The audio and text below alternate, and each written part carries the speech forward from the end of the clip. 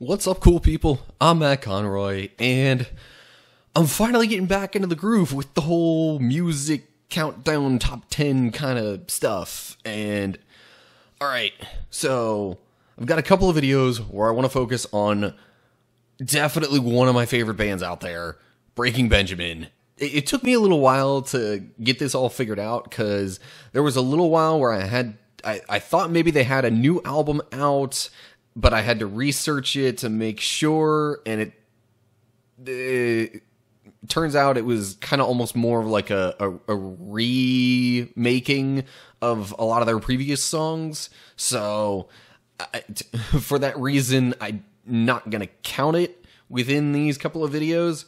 For those of you who aren't familiar with how I work these things, generally I pick a certain number of albums, no more than five, no less than two, um, and I pretty much try to spread the 10 entries as evenly as possible between the albums in question.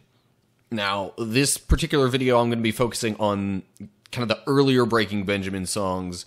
So, this is just going to cover their first three albums which are Saturate, We Are Not Alone, and Phobia.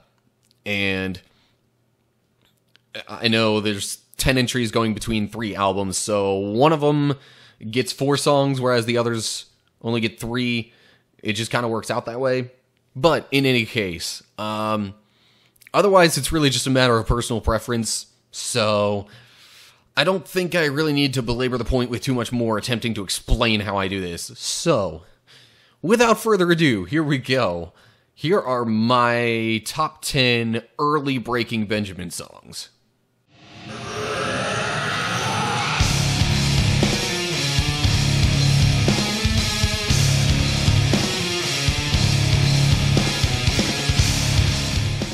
All right.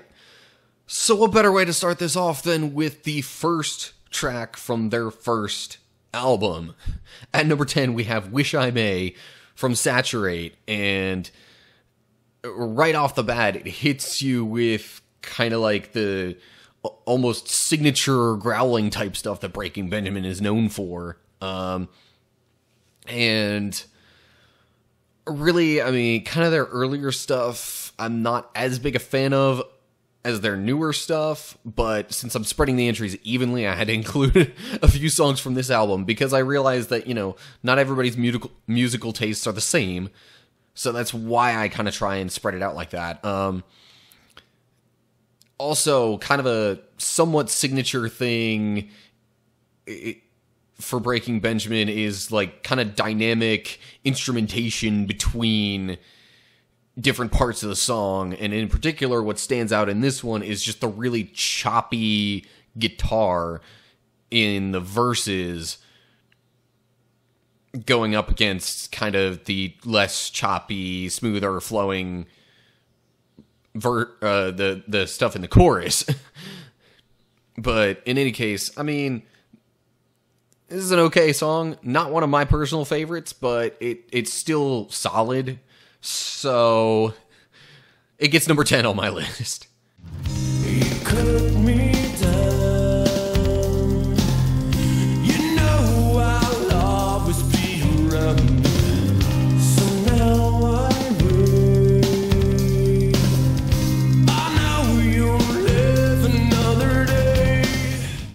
Okay, at number nine, we have Next to Nothing, also from Saturate. And what stands out to me about this one, I mean, okay, it's not quite as heavy as a lot of Breaking Benjamin's songs, which kind of makes it stand out a little bit more. Also, the low notes, the low vocal notes in this one are kind of unusual. You don't see that in a lot of Breaking Benjamin songs, or hear more accurately. Um, but in any case, uh, it's also a pretty catchy song. Like I find myself kind of bobbing my head to it a little bit. Um, and then also, if you pay attention to the lyrics in the verses, like the verses kind of mirror each other. Like literally the, the the parts that say, you know, I do this, you do that, or whatever. I'm I'm trying to be generic here. but like the I and you parts kind of switch between verse one and verse two. So I find that kind of interesting as well.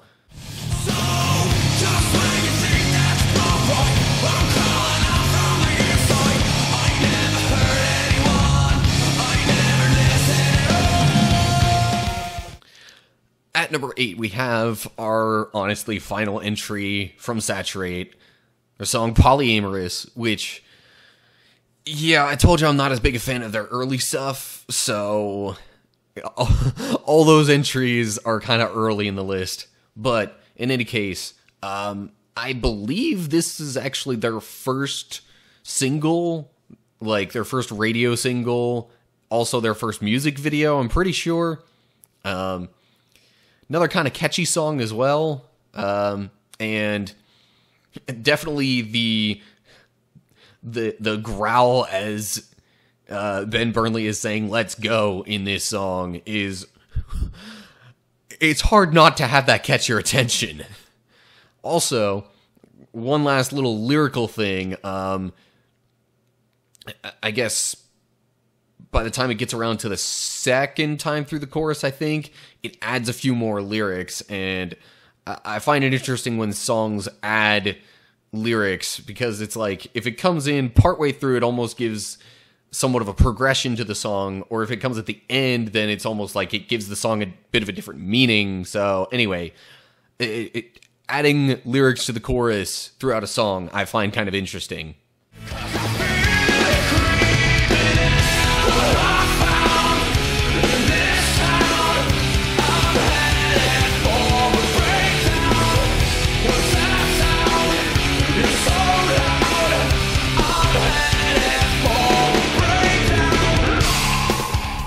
Okay, so at number seven, now we have Breakdown from the We Are Not Alone album. Um, first off, the intro is like if rock music were to have an equivalent of the dubstep bass drop, that's kind of what this would be. Like, I know it's not quite the same thing, but like you can even hear the bass come in after they say breakdown right at the beginning and just again kind of in, integrating some of those signature growls of Breaking Benjamin. And once again, we have some added lyrics at the end. It also like the the vocal key kind of goes up a little bit at the end too, so uh, it, it, just kind of brings a, a, a, different dynamic to the very end of the song that isn't quite there throughout the rest of it.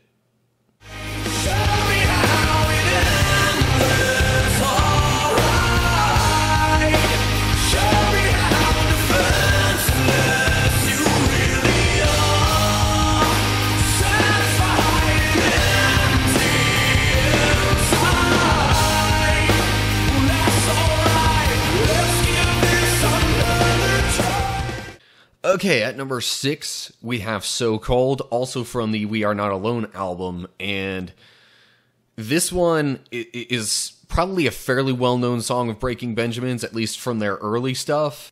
Got some really good vocal and instrumental dynamics going between the verses and the chorus. Like the, the change there is significant, but it doesn't quite have that like boom kind of moment which it doesn't necessarily need to have. This kind of song, it's a lot more. Uh, it, kind of almost got a darker theme to it. Like, just watch the music video. There's a lot of like blacks and blues and grays and stuff like that.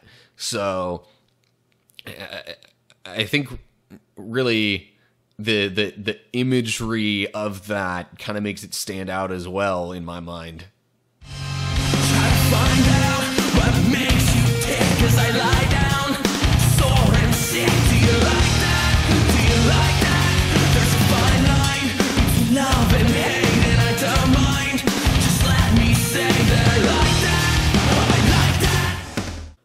Okay, so it's at this point, it's getting kind of hard to distinguish which songs I want to place where. I have actually, as I was going through this process of selecting these songs and ordering them, I changed some around as I was deciding on this.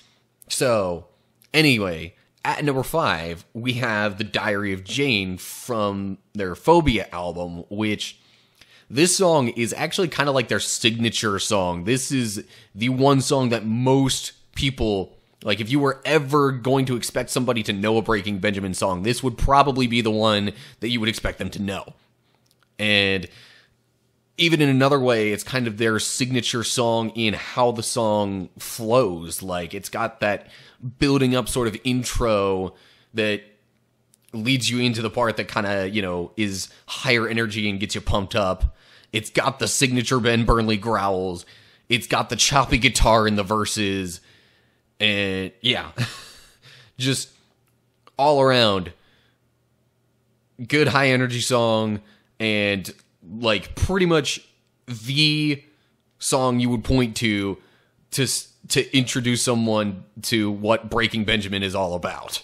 All right, so th- it's at this point I actually want to sort of put a bonus entry in here cuz there's one song I want to include that isn't really on any of their studio albums, at least not to my knowledge. It might be on some special edition of one of them, but uh I wanted to make mention of the song Blow Me Away on here because it actually comes from the Halo 2 soundtrack first and foremost, at least to my knowledge. And so that actually might have introduced some people who are into video games to Breaking Benjamin.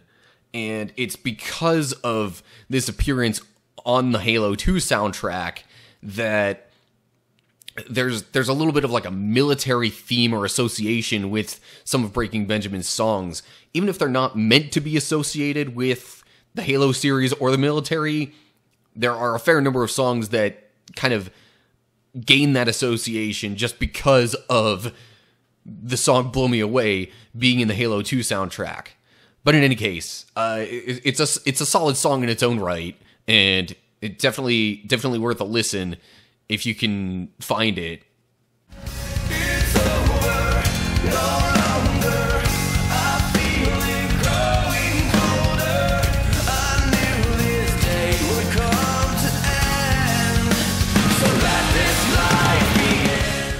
All right. So now at number four, we have uh, Until the End from the Phobia album. Kind of similar to the idea of Blow Me Away. It almost, in a sense, gets that kind of semi inspirational slash fight for your life sort of almost military esque theme and association. The internal rhyme on this song is it, it's different. You know, a lot a lot of songs will go through a fairly predictable rhyming pattern, but in this case, it's like it, it kind of puts, like I said, some internal rhyme in there, and also, I mean, even just the instrumental dynamics and stuff. Again, I know I keep kind of pointing that out. It's kind of a trademark of Breaking Benjamin and what I like about them, but yeah, in any case, um, until the end, great song, fits in with the fits in with Blow Me Away, which is why I kind of slipped that in here before getting to this one.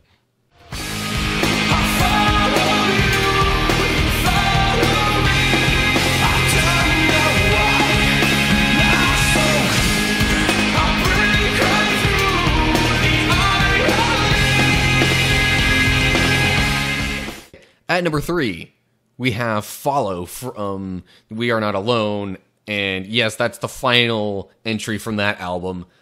The opening riff again on this one is just, man, can't can't get enough of it. And you know, there there's other stuff about this song that I like in similar ways to how I like a bunch of the other songs on this one. It's another kind of high energy one. Um, literally you hear the lyrics in the chorus and it says like I'll follow you if you follow me or something like that. And you know it's kind of a let's stick together sort of idea. And you know whatever struggles we might be going through I think this is a nice song to listen to just as kind of a you know push through its sort of idea. So, in any case, uh, again, kind of harkens back to the almost military association, just even with the idea of the song in general.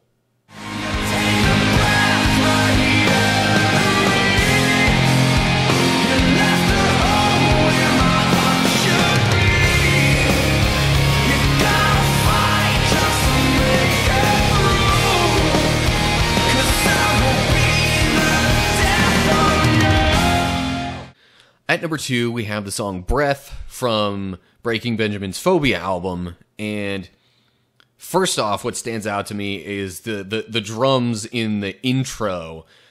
There's one part where it gets like really, really fast, but it just kind of adds to the awesomeness of the intro, I would say.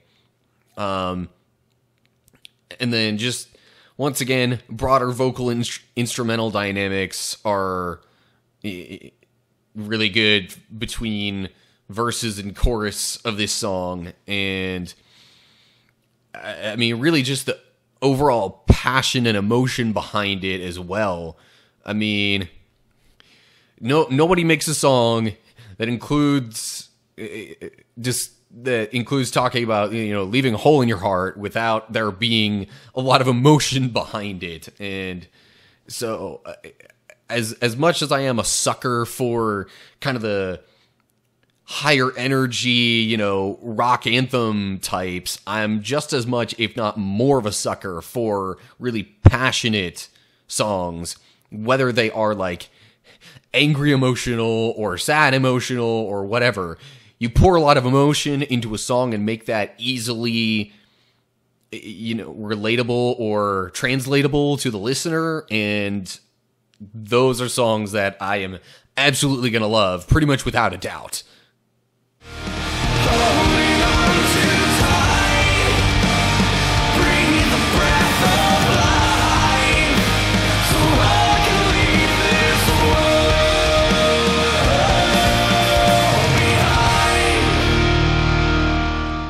So then at number one, we have the song Unknown Soldier from the Phobia album, which I would guess this is kind of a surprise entry to a lot of people.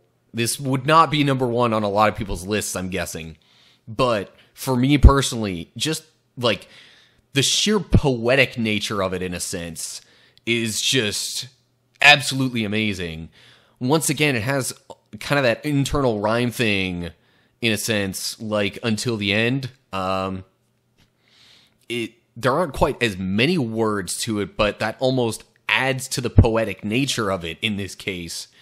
And also just also with the name of the song being Unknown Soldier and the fact that I lived quite a few of my years in Philadelphia, not too far away from Washington, D.C., and the Tomb of the Unknown Soldier, and getting to see that and kind of knowing the idea behind it, I feel like this song it could be a tribute of sorts, even just to that very idea. And again, with the military association, but like it's it's kind of hard not to see that. I mean, especially with the title of this song. Um, and once again, going back to the whole creativity, poetic stuff, we've got some more added lyrics in the chorus the second time through, which again adds somewhat of a progression in my opinion. So just yeah, for creativity's sake and for the theme of it, as well as just being a solid song in general, Unknown Soldier gets number 1 on my list. But I know not everybody's going to agree on that. So that's it for my thoughts and opinions on this in any case, leave your thoughts down in the comments with, you know, your favorite early songs of theirs or just favorite Breaking Benjamin songs in general. Um, any thoughts you have on other bands or ideas for different top 10 videos I could do, leave it all down below.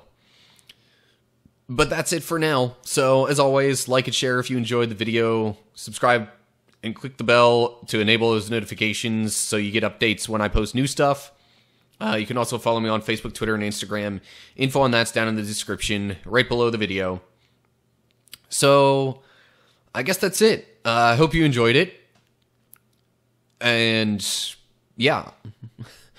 Whatever ends up coming next time, I mean, obviously, I'm going to put the modern Breaking Benjamin songs list out there fairly soon but I'm not sure exactly when. So, whatever the case is, I hope you're all doing well. Hopefully, I'll see you next time for whatever it is. But until then, stay cool, people.